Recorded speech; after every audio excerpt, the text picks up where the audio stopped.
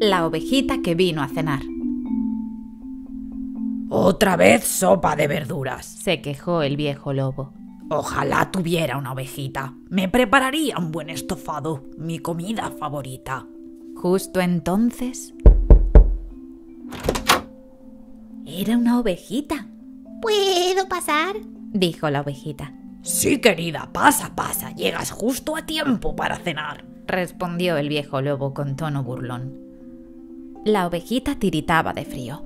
Santo cielo, no puedo comerme una ovejita que está tan helada. Odio la comida fría. y la puso cerca de la chimenea para que entrara en calor.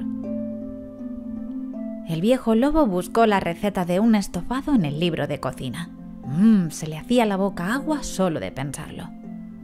La ovejita también tenía hambre y le sonaban las tripas. Santo cielo, Pensó el viejo lobo. no puedo comerme una ovejita a la que le suenan las tripas. Podría tener una indigestión. Y le dio una zanahoria para que se la comiera. El relleno. La ovejita se zampó la zanahoria tan rápido que le entró hipo. Santo cielo, no puedo comerme una ovejita que tiene hipo. Podría darme hipo a mí también. Pero el lobo no sabía qué hacer para que se le pasara el hipo. Lo intentó lanzando a la ovejita por los aires, pero no funcionó. Le levantó sujetándola por los pies, pero no funcionó. Le hizo dar vueltas y más vueltas, pero tampoco funcionó.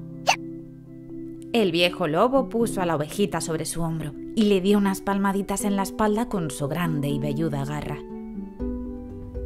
La ovejita dejó de tener hipo, se acurrucó bajo el pelo del hocico del viejo lobo y al instante se durmió en sus brazos. El viejo lobo tenía una sensación extraña. Era la primera vez que su cena lo abrazaba y de pronto perdió el apetito.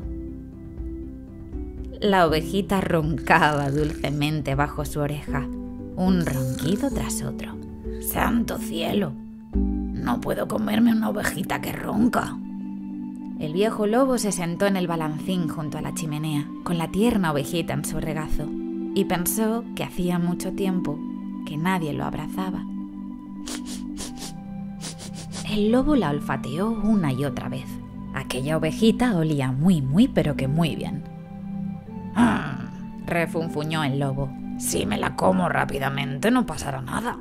Y cuando estaba a punto de zampársela, la ovejita se despertó y le dio un gran beso. ¡No! Gritó el lobo. ¡No es justo! Soy un lobo grande y malo y tú eres un estofado. Tofado. Dijo sonriente la ovejita. Y señalando al viejo lobo añadió, Dobo. ¡Oh, señor, dame fuerzas! refunfuñó el viejo lobo. Tienes que irte. El lobo abrigó bien a la ovejita y la dejó fuera. Ahora vete. Y después los dos nos arrepentiremos. Y cerró la puerta. Fuera estaba oscuro y hacía frío. La ovejita porreó la puerta. Dobo. ¿Puedo entrar, Dobo? Pero el viejo lobo se tapó las orejas con las manos y empezó a cantar. La la la la la la la la la la la la la. hasta que ya no se oyó a la ovejita.